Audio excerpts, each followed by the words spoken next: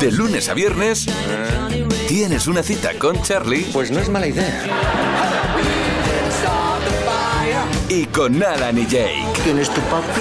Desgraciadamente tú. ¿Un abrazo? Dos hombres y medio. De lunes a viernes a las ocho y cuarto en Neox. Sacarse un dinero extra es muy fácil.